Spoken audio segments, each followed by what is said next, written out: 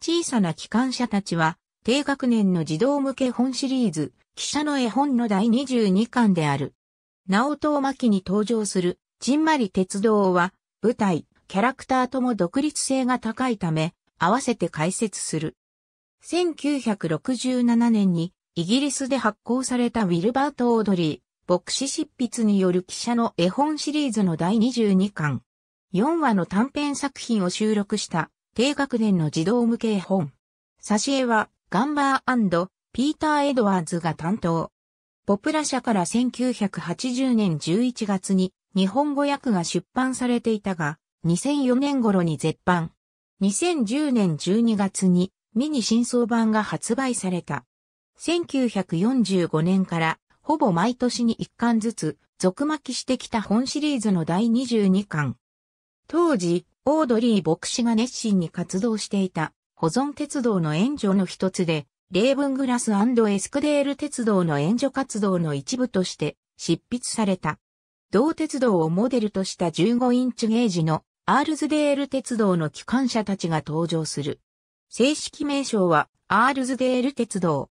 22巻以降にも登場するが、日本で読める書籍では22巻の登場がほとんどとなっているため、便宜上この項目で解説する。ミッドソド鉄道の廃線後に再建され、砂利の運搬と観光客輸送を行っている。機関15インチのミニチュア鉄道だが、イギリスにはこのようなミニチュアサイズの公共鉄道も存在している。クリストファー執筆の新シリーズでは、運転室に無線機まで搭載している。テレビシリーズでは、模型制作技術の限界で、登場話がそっくり飛ばされていた。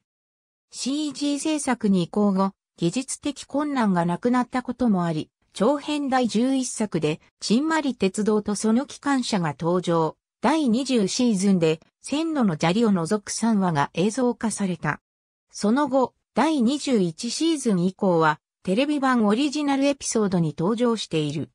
ちんまり鉄道のモデルとなったレーブングラスエスクデール鉄道本館の内容で特筆すべきもののみ紹介。